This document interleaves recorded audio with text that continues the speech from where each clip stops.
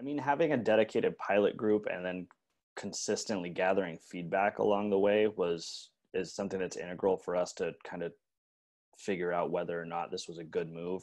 Um, obviously, there's budgetary concerns as well that have to be factored in, but try not to make those the primary. Um, it's really getting a group of faculty involved with the tool, get them actively using a tool, and then questioning, you know, just ask them along the way and survey them to see how is this going? Are you liking it? What's the student response been?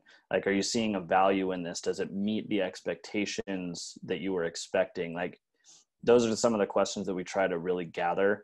Um, and then i like from there with the smaller initial group if things look good you can expand it a little bit further before necessarily so it's like a pilot phase one and a phase two before full adoption kind of deal um, just to kind of gather it. And i mean if the if the overwhelming feedback initially is just like yeah this is great. Everyone needs to use it. Then you know we can push. But i think gathering that feedback both from the faculty that are involved and also doing student feedback on the tool is really important because if it's something that's like it seemed really cool and it had some decent functionality but the students couldn't use it or i had to write my own instructions and by the third assignment i hated using it because no one could figure it out you know it's you know the, to gather that kind of input is important i think along the way